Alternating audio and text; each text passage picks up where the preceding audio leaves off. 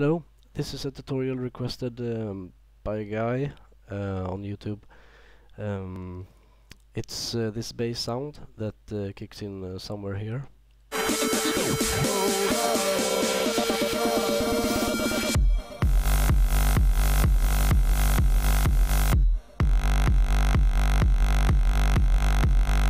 Kinda sounds like that uh, bass that Zedd uses a lot.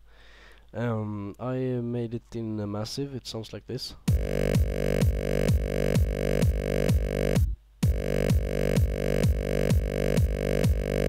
Also you can put some uh, noise on uh, on this uh, here, uh, or you can um, add another synth and add a noise in that to make it more clean. Like that. But anyways, I'll show you how to make this synth. Uh, first of all, you start start off with a saw wave here, down to octaves. Uh, same here, uh, saw wave, but this is gonna be on bend minus.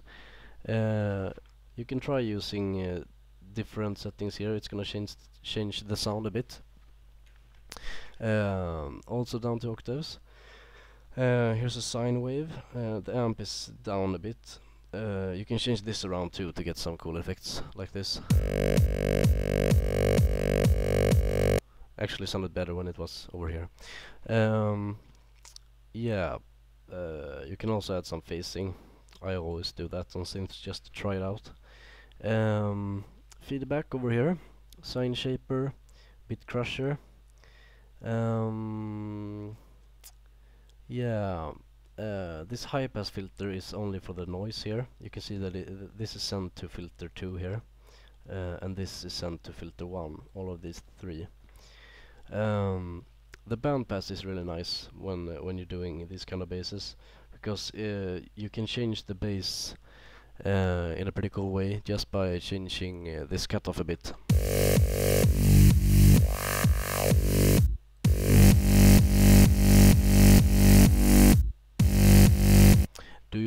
What I mean? Yes, I think you do.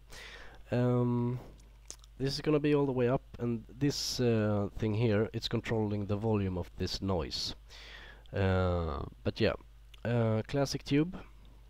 Uh, this is gonna be on uh, bit under 9 o'clock, and this on uh, 11 o'clock.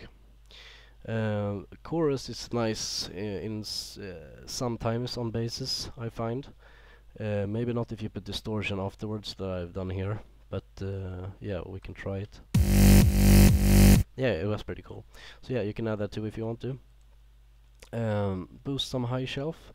These settings are uh, really um, up to you. Uh, you can change the sound totally just by... I'm gonna show you again. Listen now.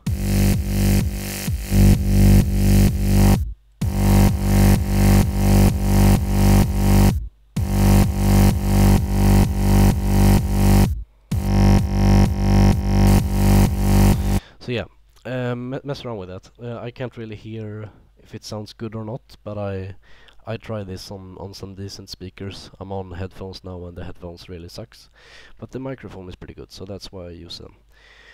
Um, unison on two. It's gonna be on mono.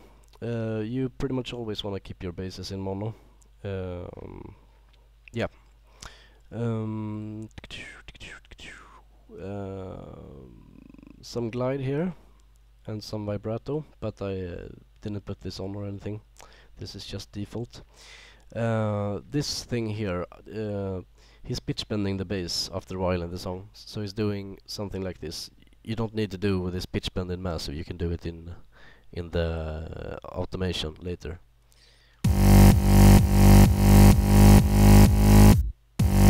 Something something like that he's doing. Um, but yeah, I think that's uh, it. Try messing around with this phasing too. Um, also, this um, Omnicide here uh, is really nice. Uh, it's the default patch. Um, you put this on like 17 or 18 and this is gonna be pretty low because otherwise you're gonna fuck up the sound if you put it up here. Well, okay, it sounded pretty cool.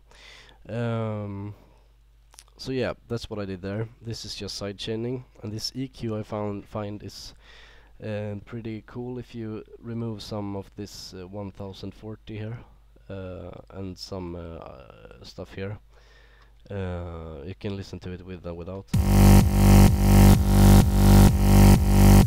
And also I boosted a bit here, so you can just copy off how that looks.